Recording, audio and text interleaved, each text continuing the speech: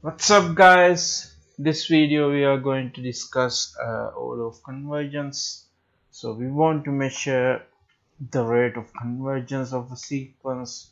So we so far we have learned uh, a lot of methods. For instance bisection uh, iterative process and fixed point iterative process method right? So in all methods uh, we generated a sequence a sequence right? So we want to uh, we want to measure the rate of convergence of those sequences. So for that so we have to learn these things. So so we can measure how fast that a sequence converges to the limit right? So first one uh, suppose uh, so wait a second. Uh, let's take a take a sequence xn is a sequence real sequence. That sequence converges to this value x star. So uh, right as n tends to infinity so we want to measure the rate of convergence right? So so if that sequence uh, converges to x star in this way that means if there exists a constant c which is less than 1 and there exists a constant c which is less than 1 and an integer in such that so this inequality holds uh, whenever uh, all terms greater than n right so we say that sequence uh, converges to x star linearly. So let's take a couple of examples to understand these definitions, right? Here look at this example. So this is a sequence. Uh, so here this is the general term. General term is 1 over 2 to the n. So we know that as n tends to infinity, this term the sequence uh, converges to zero right? So let's uh, check this condition here. So so distance between the n plus 1 term and the limit. This is uh, this is actually the error at the n plus 1 stage right? This is the error at n plus 1 stage so let's uh, compute this one. And the error so this is the distance between an nth stage and the actual limit right? So the distance between these two is gives you gives you the error at the end stage. So let's compute these two right? These two terms so here I computed this one. This one gives so this distance is 1 over 2 to the power n plus 1 the limit is here 0 right?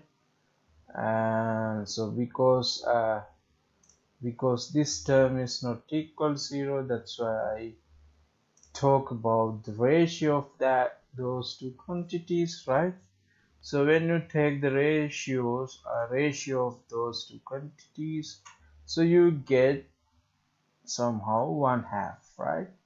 So so the limit uh, so this does not depend on n then uh, when you take the limit both sides uh, you get one half because this is a constant term right? So the limit of this one this ratio is equal to one half which is less than 1 this constant this one is less than 1 then then we can say this sequence converges to 0 linearly right? So this sequence converges to this sequence converges to 0 linearly. So if you take a look at the second definition if the function if the sequence converges uh, super linearly means uh,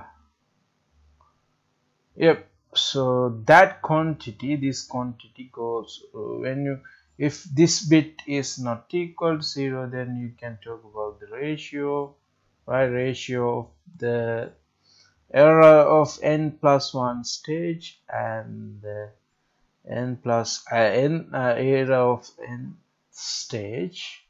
So you can compute the ratio of those two quantities right?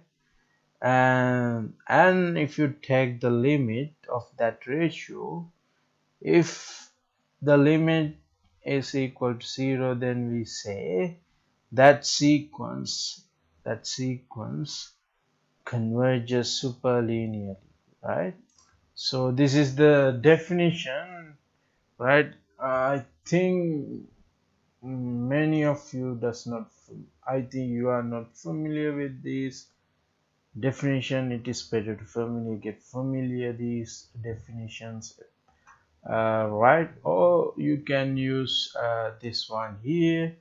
So take the ratio. If this term is not equal to 0 then you can compute the ratio of uh, two errors two consecutive errors right? So this is the limit. This is your x star right? So this sequence converges to this uh, this uh, x star right? Super linearly. Then the limit of this uh, ratio should be equal to zero. So let's uh, look at this uh, this sequence here. So this is the general term of the sequence. So as you can see uh, as n tends to infinity uh, the sequence converges to zero right? So now we are going to measure. So we want to get an idea about uh, how fast that sequence converges to zero right so let's check that uh, by computing two consecutive errors. So this is the error of the n plus 1 stage. This is the error of n nth stage right?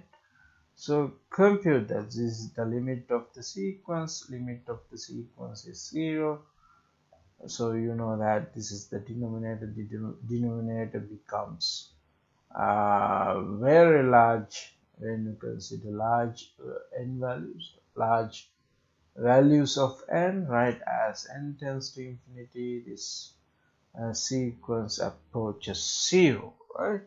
So compute this uh, ratio because why I can compute this ratio is uh, because this denominator does not equal 0 for all and that's why I could compute this ratio right?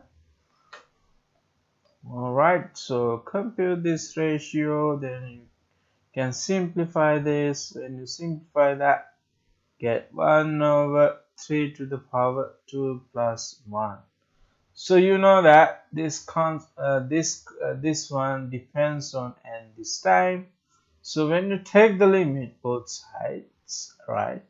As n tends to infinity this term what happened to this term? This term getting smaller and smaller yet uh, goes to zero right?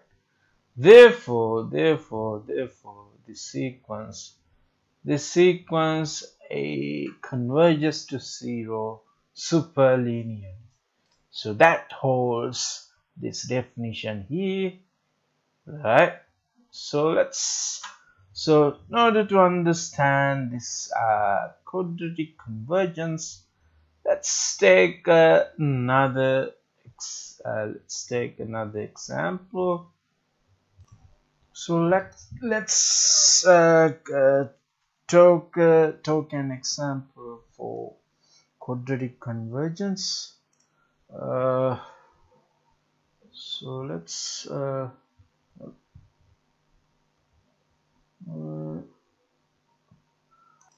all right uh, let's consider this uh, sequence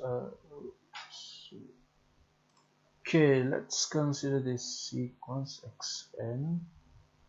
So this is the general term 1 over 2 to the 2 to the power n right? This one. So you know that this sequence converges to 0 as n tends to infinity n tends to infinity right?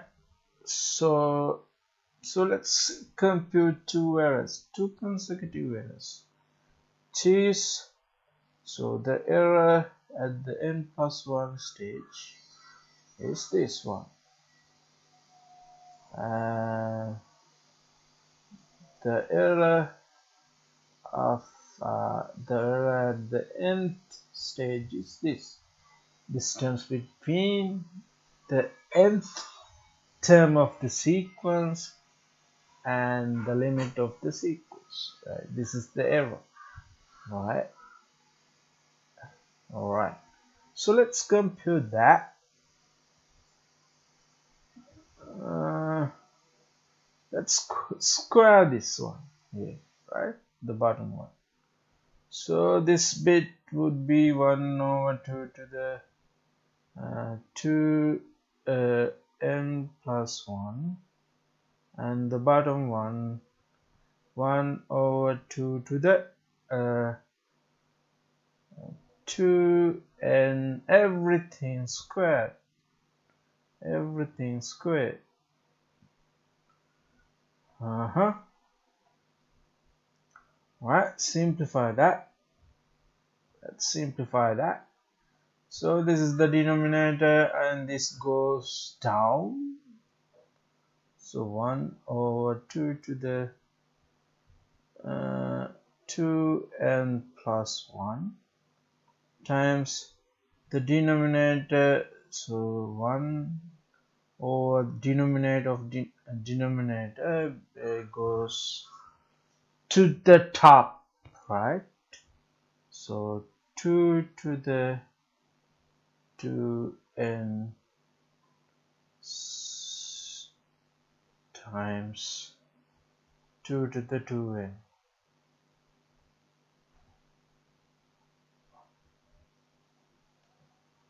like this one